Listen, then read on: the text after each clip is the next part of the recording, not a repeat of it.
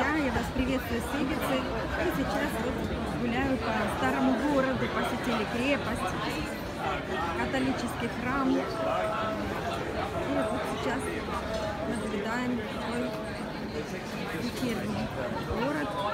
Много кафешек, старые улочки. Сыночка тоже снимает, фотографирует, ему это тоже очень нравится. Ну, очень прикольно.